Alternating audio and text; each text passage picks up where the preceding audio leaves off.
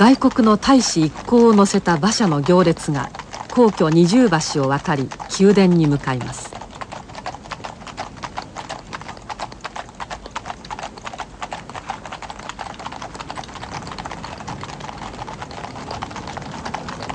日本に着任したばかりの外国の大使は宮内庁から「お迎えは車にしますかそれとも馬車にしますか?」と問い合わせを受けます。大多数の大使が馬車を希望します。大使はその国の元首から授かった信任状を天皇陛下に法廷する儀式に臨むのです。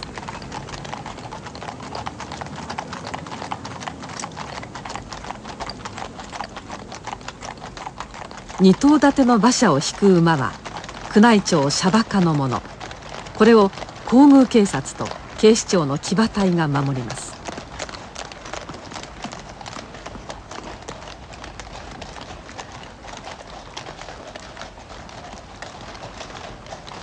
今でもほとんど知られていない皇居の中。ここでは一体どんな人たちがどのような仕事をしているのでしょうか。私たちがこの番組の撮影を始めたのはまだ春浅い3月の中頃でした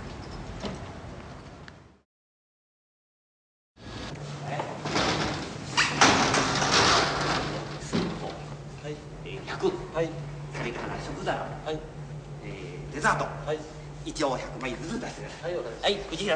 さん、はい、いいですか宮殿にある宮内庁大前科の生前室。外国からの国王や大統領をお迎えする宮中晩餐会が開かれる前日。この部屋は慌ただしい雰囲気に包まれます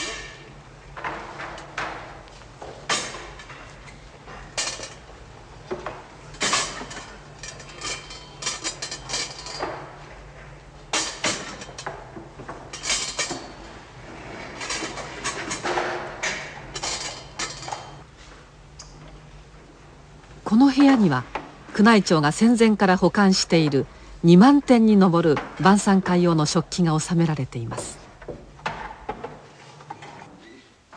このお皿は？これは魚料理もらえるのではなくて銀製でございます。重そうですね。大変重うございます。でまたこれにはお魚が8人前乗られもられましてお客様にお出しする時は片手でご配膳しますものですからこのように大変重うございます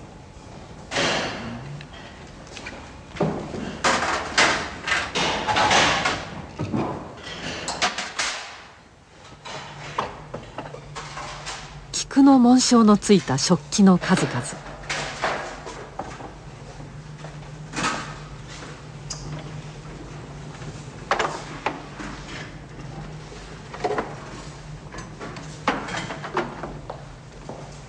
宮中晩餐会で普通準備する食器の数は銀製食器が2,000点陶器類が1,000点グラス類600点に上ります。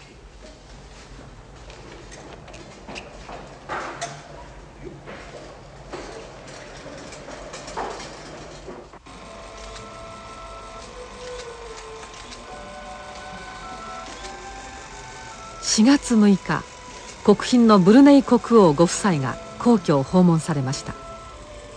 ブルネイはボルネオ島の北部にある小さな国ですが日本との経済関係は緊密で東京で使われている都市ガスの3分の1はこの国の天然ガスに頼っています。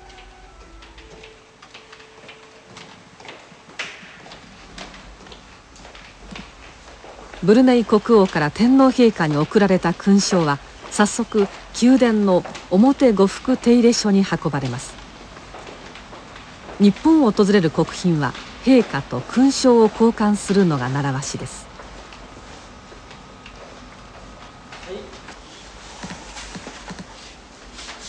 陛下の塩ビ服が陛下の体型に合わせて作られた人形にかけられます。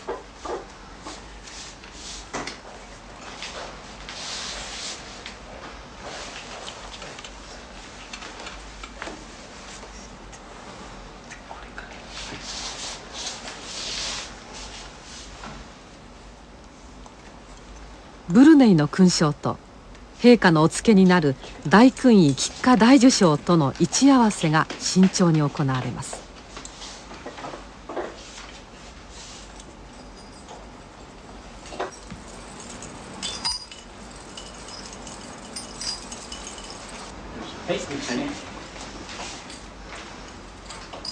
陛下の身の回りのお世話をするのはうど練りと呼ばれる人たちです。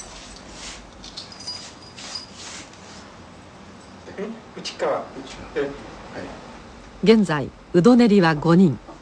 すべて宮内庁職員つまり国家公務員です。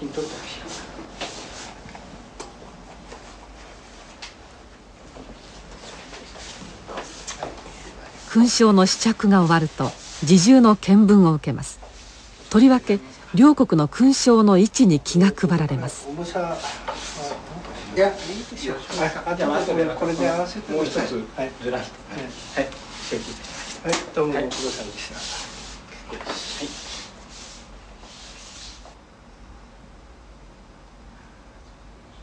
この日陛下のお付けになる勲章はブルネイのものも合わせると1キロの重さになりました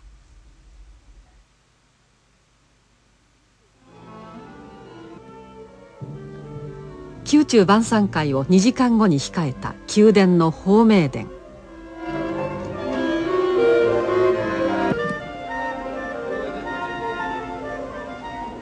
晩餐会での演奏は宮内庁学部が当たります。学部員の特徴は雅楽と洋楽のどちらにも通じていることです。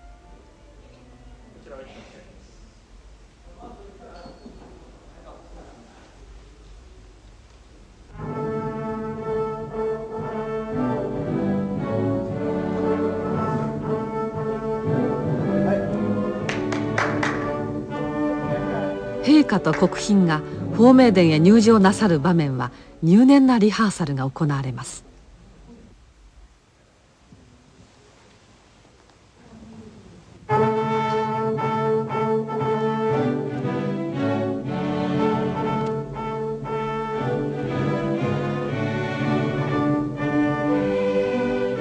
ストップウォッチを手に歩くのは山内式部副長。儀式の進行は式部職の職員が務めます。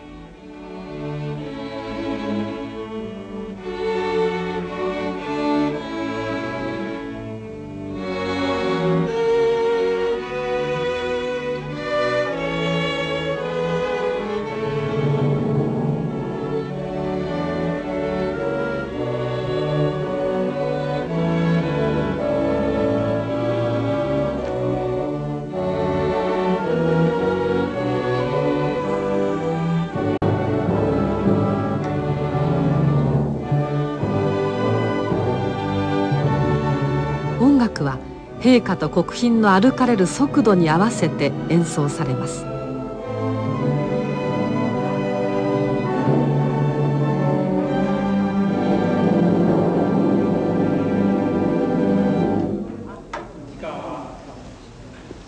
一分47秒。いや、わ僕は少し少しスピードとしたから、これやられたから。大体いいですねいいでしょ。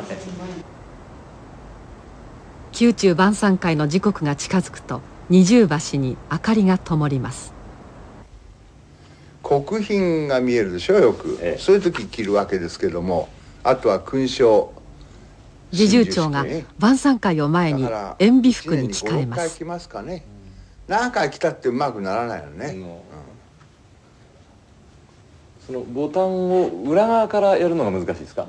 あの裏側からやる式があるんですけれどもえそれは何でもなくやる人もいるけど僕は技術が悪いから裏側から入るやつはできないよね。だから表からこのねじ込む式なんですよ。これはよほど時間見とかなきゃダメですね、えどうしてもこの鏡が必要なんですか？うん、鏡がまあ必要ですね。これどこにねじ込んだらいいかわからないからね鏡ないと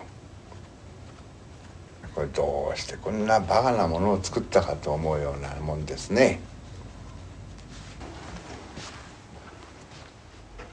宮内庁では課長級以上の職員の部屋には必ず洋服ダンスが置かれています。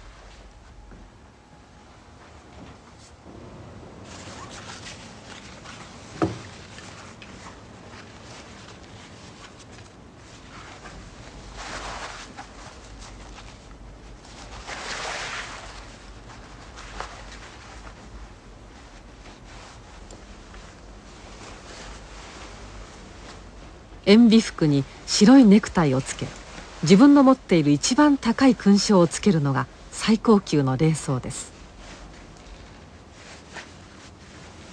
これで完成ですか？はい一番あれですね。今日は晩餐会は？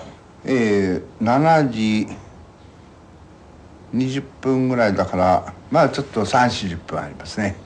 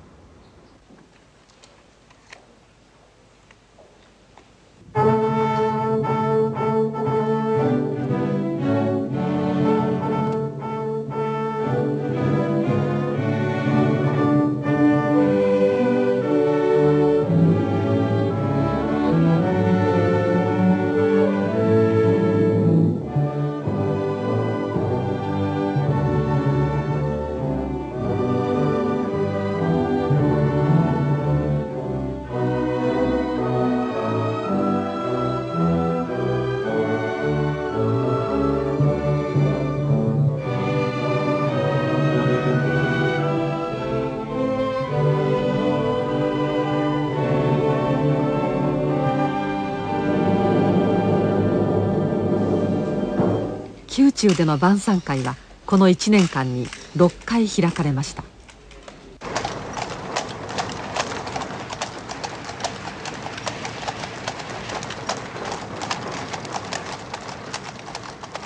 お堀に囲まれた皇居の中で普段見かける光景は外の世界と比べて随分違います。旧江戸城二の丸跡では毎朝こうして馬車馬の調教が行われています。車馬家の主目藩主人の馬と書きますがここで世話をしている馬の数は現在33頭です。馬に付けられている名前は生まれた年の歌会始めのお題にちなんでいるんです。放送33どうぞお今乗車中どうぞ乗車中了解。皇居の警備を全て受け持つのは皇宮警察本部です参考体制で常時100人が皇居の中の警備に当たっています。パトカーの中から見る景色も石垣よりお堀張りで大変変化に富んでいます。皇居の中を走るパトカーの色は黒。ここで働く警察官は護衛官と呼ばれ拳銃の釣り紐の色が赤だったりちょっとした違いがあります。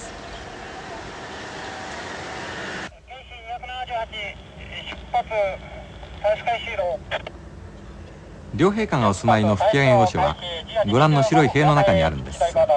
この中には宮内庁の職員でも限られた人しか入れません。この辺りうっそうと木が生い茂り言ってみれば武蔵野の面影を残しているところです。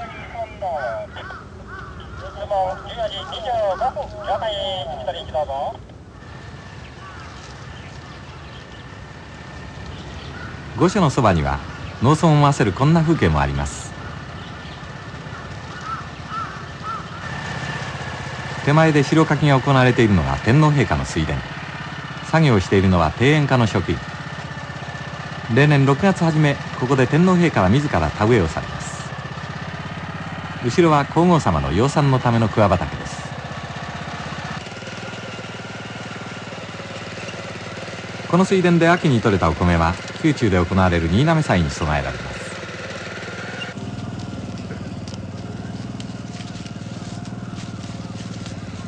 また皇居で採れた繭は長野の繊維工業試験場に送られ布地に織られて国賓の贈り物に使われています。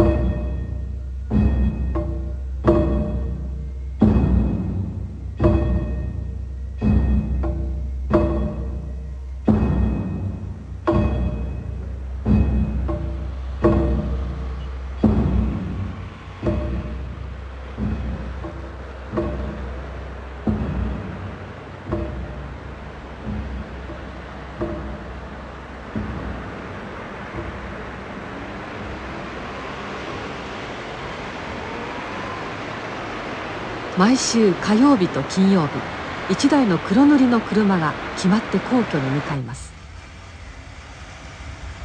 この車に乗っているのは内閣官房の職員たち。膝の上の漆塗りの箱の中には閣議で決裁したばかりの公文書が入っています。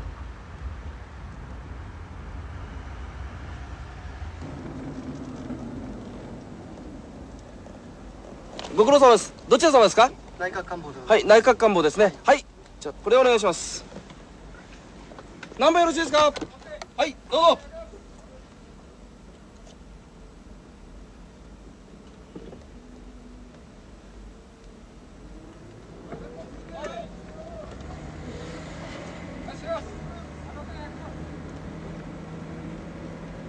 皇居に入る通用門の一つ坂下門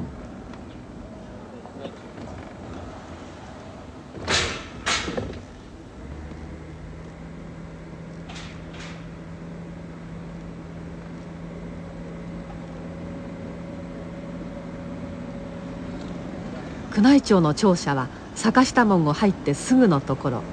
昭和10年に建てられた洋式3階建てですが玄関には宮内庁の看板は見当たりません。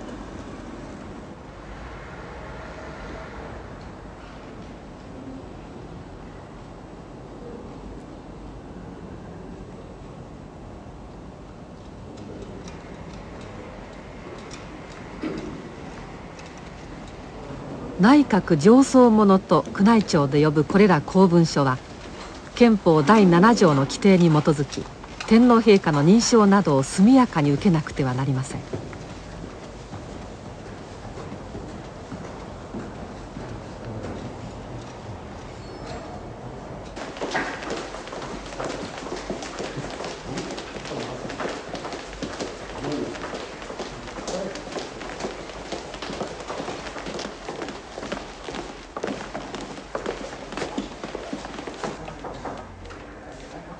内閣から運ばれた箱はまず侍従職の事務室に届きます。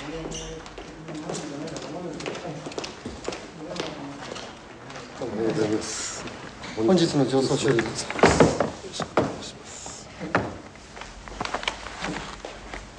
お預かりいたします。よろしくよろしくお願いします。お済みになりましたらご連絡いたしますから。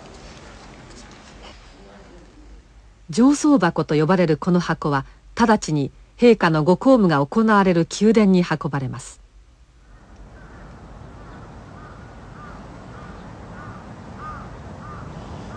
吹上御所にお住まいの天皇陛下が宮殿へ出発されるのは朝10時。御両車と呼ばれる専用の車でおよそ3分の道のりです。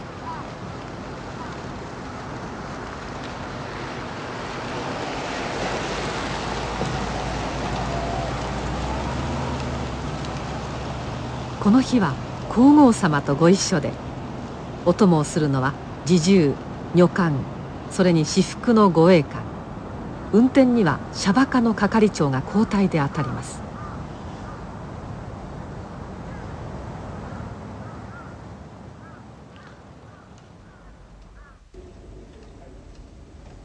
宮殿では儀式の場合を除き日頃職員は廊下の端を歩くのが習慣です。上層箱はまず当直侍従の控え室侍従公所に運ばれます。失礼いたします。上層処理をお持ちいたしました。はい。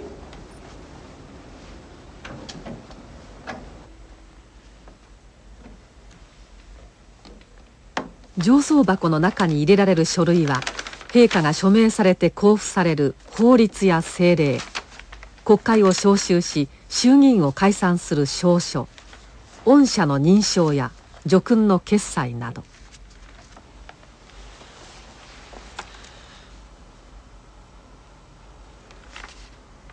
文書には総理大臣以下全閣僚の独特のサイン花王があります。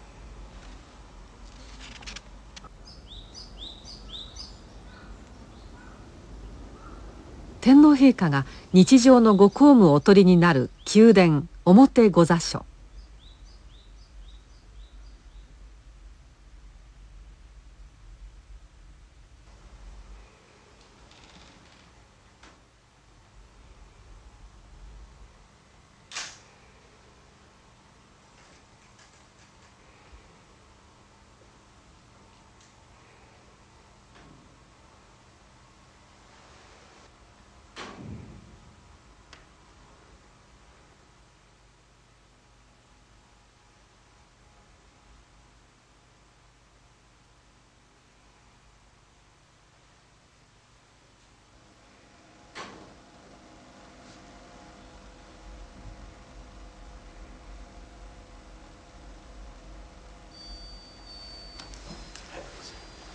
訓金は3件。入った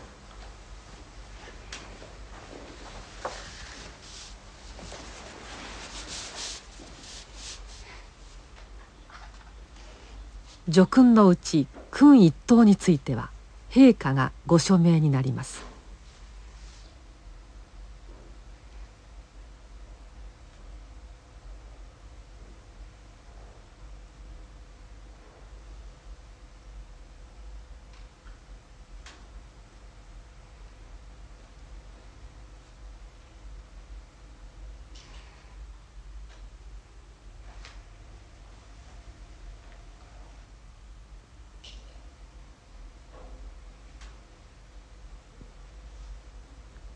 陛下のご署名は多い日には15件に及びます。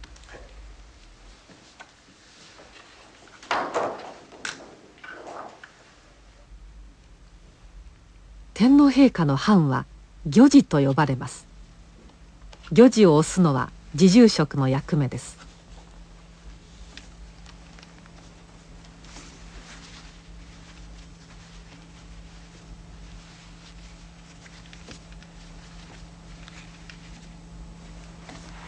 9センチ四方重さおよそ4キロ金製の魚地予備はありません。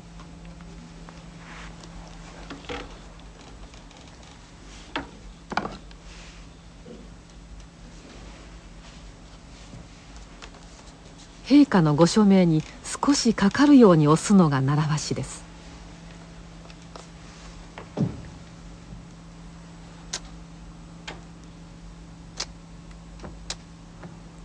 主肉は大蔵省印刷局特製のもの。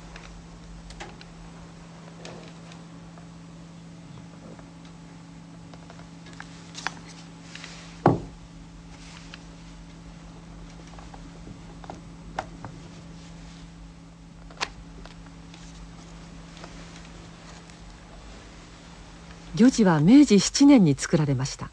以来作り変えられることなく110年間。国の最高の公文書に押されてきました。訓記。勲章の証書にはもう一つの金印が使われます。国事。つまり国の藩で。御事と一緒に作られました。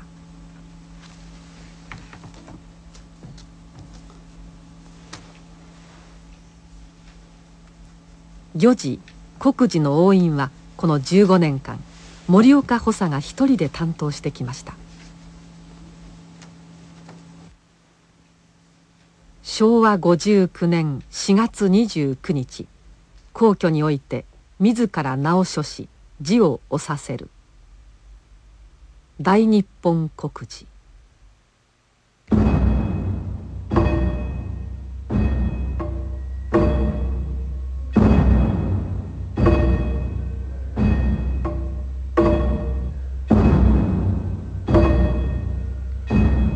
数百年を超える雅楽の伝統を伝える宮内庁楽部。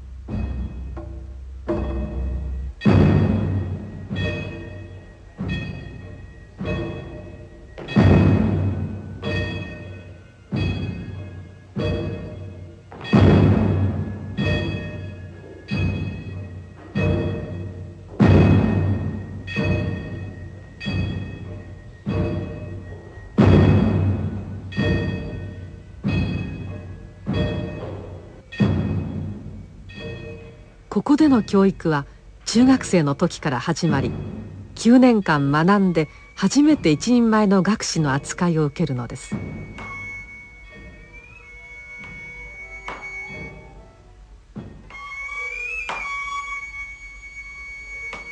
学生上健二さん22歳。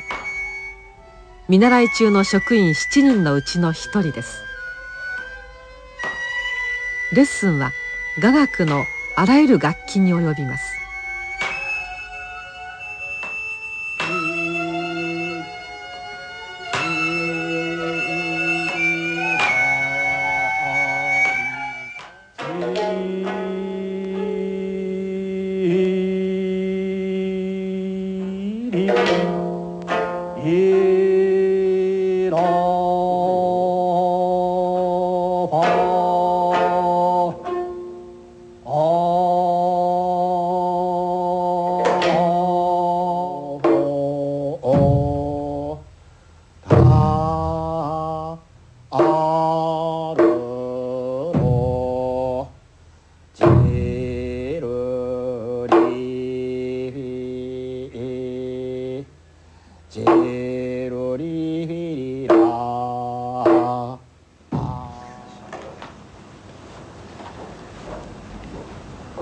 ばかりの学士の世界では装束の着付けも覚えなくてはなりません。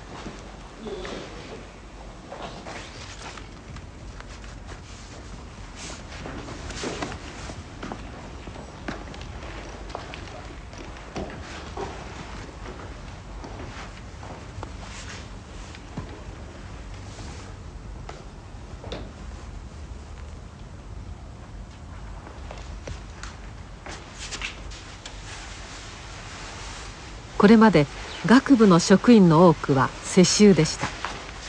上東義園などの家系が代々仕事を受け継いできたのですもうちょっとまだあとそんなこと今のところ大丈夫足は大丈夫か学部の建物に並んで書寮部があります。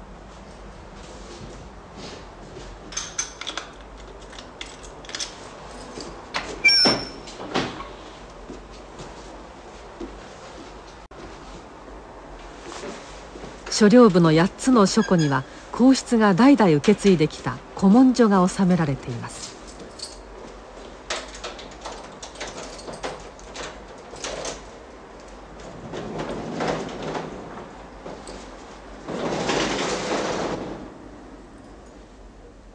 虫よけの小脳の匂いが鼻をつく書庫。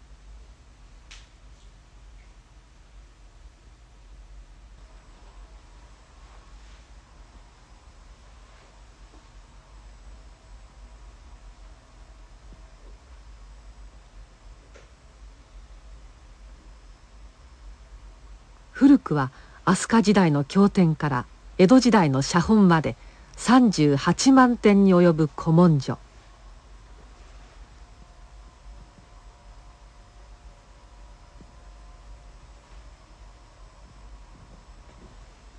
書庫の窓は年に1回の虫干しの時期を除くといつも閉じられたままです。天保年間に書かれた「万葉集」の注釈書「万葉集古義」花輪フォキーチの俗群書類集の原本「源氏物語」の江戸初期の写本。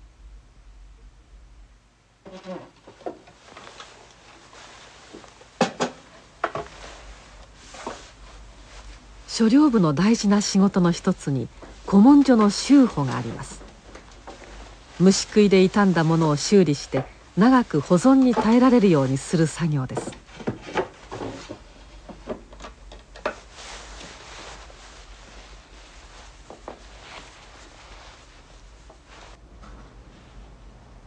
現在8人の職員が修補に取り組んでいます。畳18畳敷の部屋が彼ら公務員の仕事場です。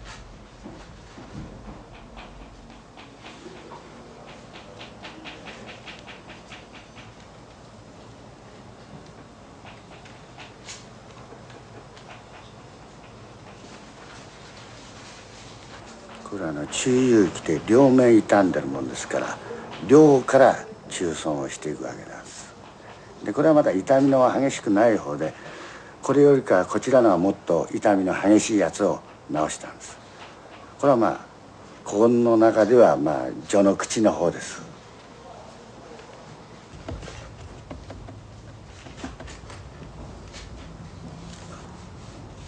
鎌倉時代の中遊記を例にとると1ページの修補に5日間を要します。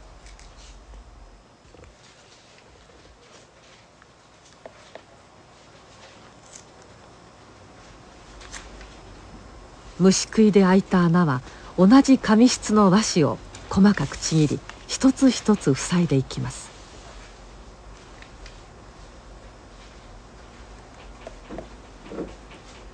宮内庁所領部にある古文書を修理するにはあと200年の歳月がかかると言われます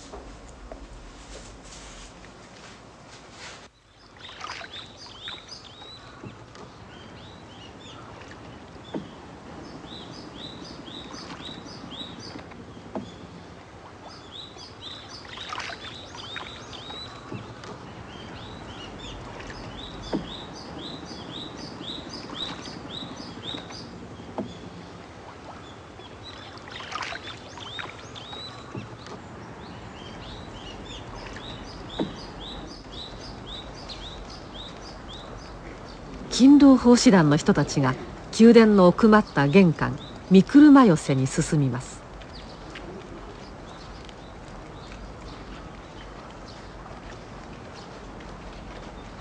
勤労奉仕団。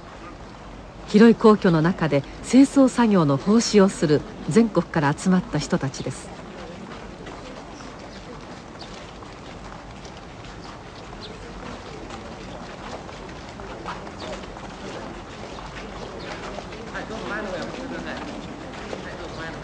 1回の奉仕は4日間ですがその中には両陛下からねぎらいのお言葉を受ける場面があります。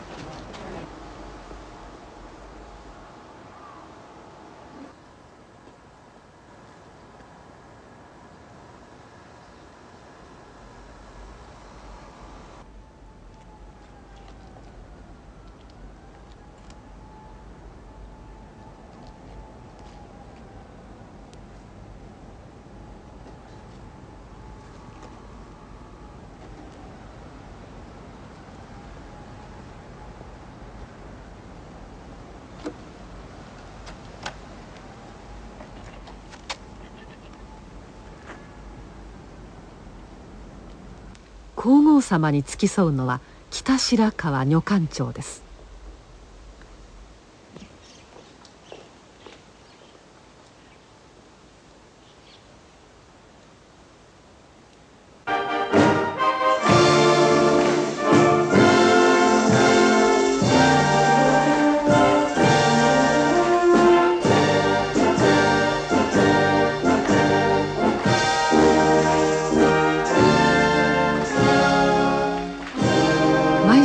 金曜日のお昼休み皇居内の勤労奉仕団の休憩所では皇宮警察音楽隊の慰問コンサートが開かれます。大阪しぐれをやります。歌手はありますか？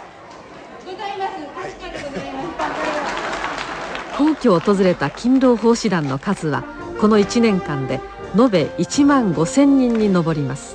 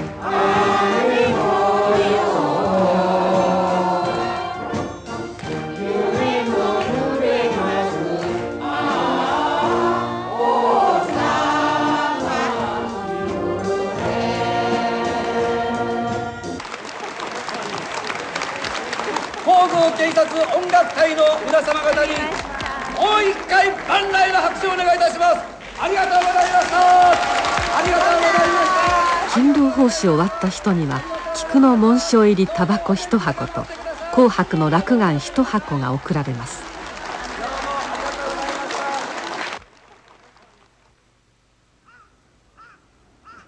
宮内庁の庁舎で宮殿と渡り廊下でつながれた一角は奥と呼ばれ両陛下に一段と近い仕事をしている人たちが詰めています。赤い絨毯の敷かれた廊下を歩いてきたのは入江侍従長です。毎日お昼には侍従たちの打ち合わせが行われています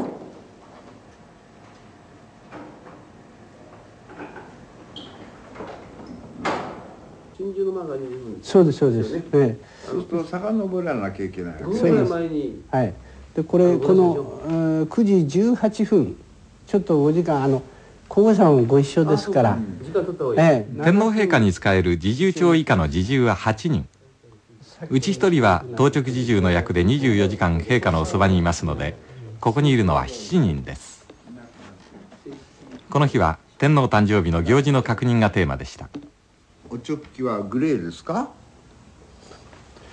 えーっとこれはですねあしょの祝賀行事ですからこれはお取り替えなしでこれはあの黒ですね。黒でいくと思います。そうしましょう。はい、はい、そうでないとこれ、さもなくしょっちゅうはい。変えてなきゃいけない。あのそれでえー、っと今度は、えー、お上と皇后様とお別々ですね。この入江侍従長は侍従生活50年、はい、京都冷泉家の流れを組む旧家族の出です。と皇后様はい。でお上はその間に侍従長と並んでいるのは徳川侍従次長。こちらは尾張徳川家の子孫ですこれはどっかでお待ちなこの人はこの4月人事異動で自治省から派遣された32歳の鈴木侍従です。皇族さんとこう合流なさいますかね、ですから最初に先に上の場にいらしてお待ちでしょ？そうですそうです、ね、目の間の力を入になるわけです。この8人のもとには天皇陛下の身の回りの世話をする多くの職員がいます。この人たちの職名は遠く奈良時代の律令制度に源を持っています。大正代に一瞬しても。これが社会とかなんとか言うならばね。ありますけど、ね、時間これでいいですね宮殿で行われる儀式をはじめ侍従が心得ておく習慣しきたりは例えば雨の日の傘の差し方に至るまで大変な量に上りますでここの部屋があの松の間ですね。だからまあ宮中の儀式で一番まあ大事なものはですね全部ここでやるわけですね。先ほどご紹介した新人の鈴木侍従は着任早々先輩の安楽侍従から連日コーチを受けていました。みんなこちらでやるね。でまあ漢字はそのその日にね立たれましてね、はい、陛下の椅子の前に私になったここは宮殿で最も重要な儀式が行われる正殿松の間です。この日は外国から日本に着任した大使の信任状方程式の手順についての勉強です。その時に大体一応礼してこの官庁の先にね官庁の先に。こう出ました。ここでは新年祝賀の儀歌会始め総理大臣の任命式など多くの儀式が行われます。先導の官庁よりもね先にこうこうした慣例と約束事の世界になれるのも並大抵のことではありません。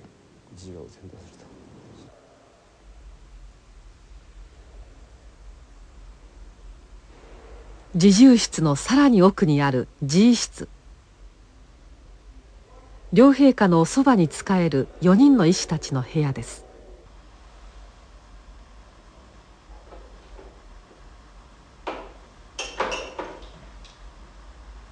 当直寺の昼食時。メニューはその日の両陛下の昼食と同じものです。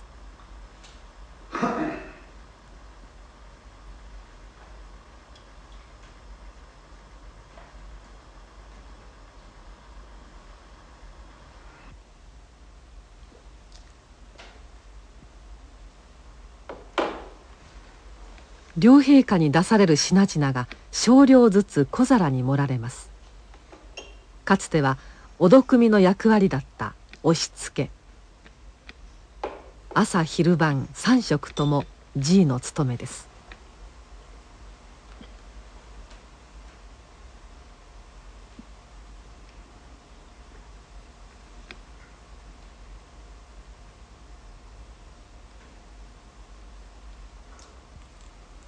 この押し付け今では塩分やカロリーを確認して両陛下の健康管理に役立てられています。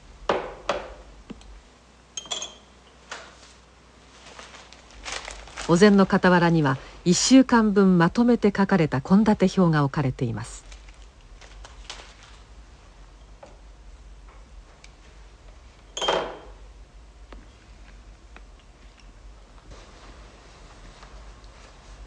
両陛下のお食事は京風の薄味が多くその上ご高齢を配慮して塩分が極度に抑えられているということです。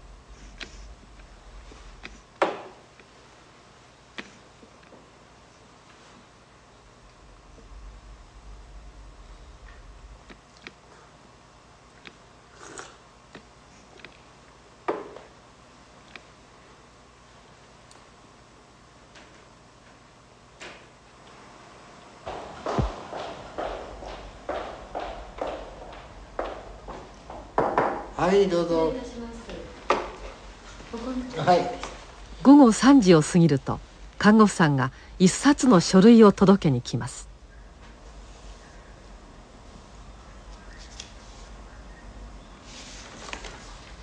両陛下が食事を済まされるたびにどれだけ召し上がったかが一品ずつ詳細に記入された書類です。はい。お下げしてよろしいですか？はいどうぞ失礼いたします。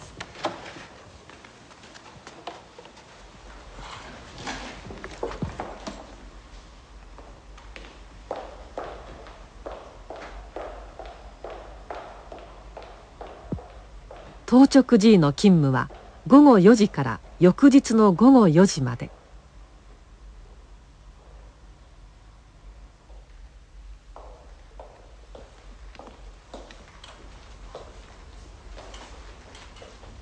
交代時間近くになると次の泊まり勤務者が出勤してきます。お変わりありませんか？ございません。両陛下お上には特別の。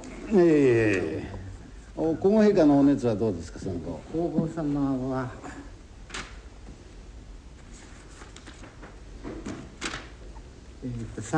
両陛下の健康状態は2冊の配信録と呼ばれるカルテに毎日記録されます。になったと考えていいですね。あの、うん。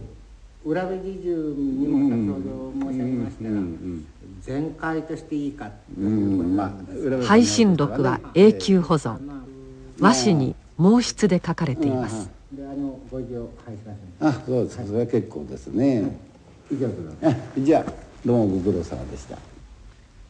両陛下が皇居から外出される時 G は黒いカバンを持って必ず付き添います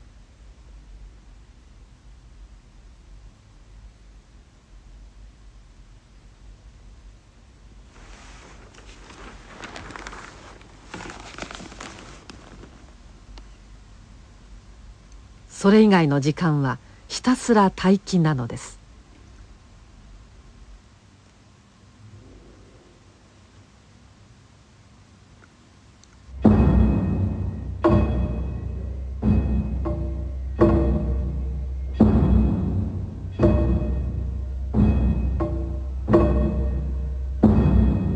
宮殿の回廊その正面突き当たりには春夏秋冬に応じて常に日本画が飾られています。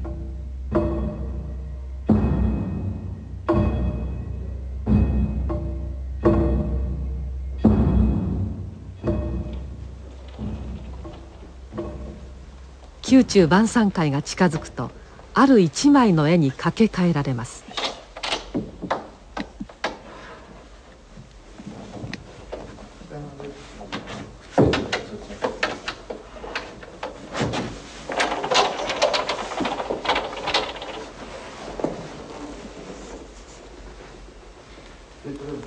宮殿管理の職員たちが取り付ける日本画は奥村土入画伯の富士の絵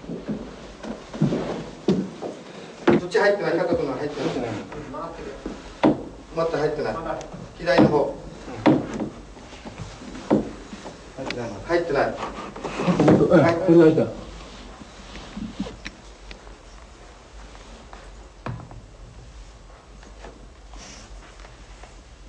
元旦天皇誕生日。そして国賓が皇居を訪れる時この富士が決まって回廊の突き当たりを飾るのです。